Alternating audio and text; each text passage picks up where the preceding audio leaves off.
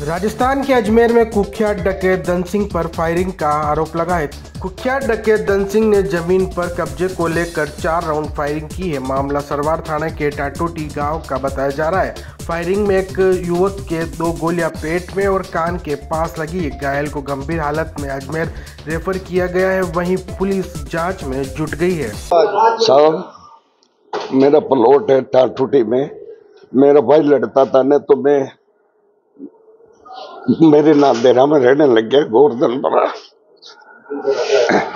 तो फिर मेरे एक बड़ा बाप का लड़का कब्जा कर लिया था।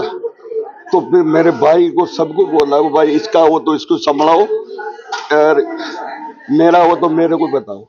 मेरा भाइयों ने मेरे बा, बड़े बाप का लड़का को समझाया कि भाई तूने बाउंड्री कर दी एक नाई और वो। तो फिर साहब वो नहीं माना। फिर मैं सारा लिया को भाई गोपाल काकुसा को बोले मैं एक लाख रुपए माँगता था मेरे भतीजे में। तो काकुसा ये ये दीवार को हटा दो मैं एक लाख रुपए मेरे भतीजा में माँगता हूँ। तो वो लाख रुपए मेरे को दे दो और इसमें से आधा ले लो आप। तो तेरे पास क्या पूरब है?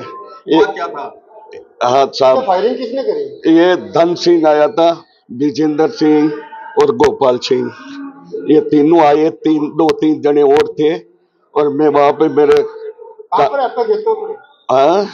है? हाँ है है मेरा निजी मेरा बाप का। क्या? ठाटूटी की है साहब।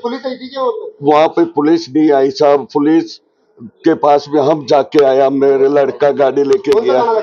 बारह मील। यहाँ यहाँ आके वो आते गोली मार दी मेरे। हाँ। क्या नाम है आपका? मेरा नाम रामपाल है साहब। विवाद क्या था? ज़मीन का था क्या विवाद? साहब कोई विवाद नहीं हो जानबूझ के मैं दो कागज़ दिए थे उनको मेरे निजी प्लॉट का।